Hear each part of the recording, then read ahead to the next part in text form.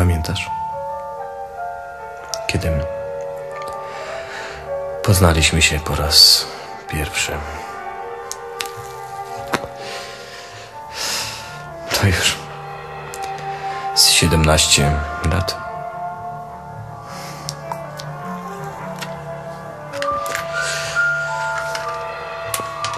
Wiesz,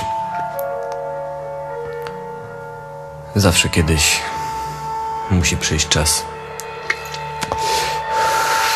rozstania.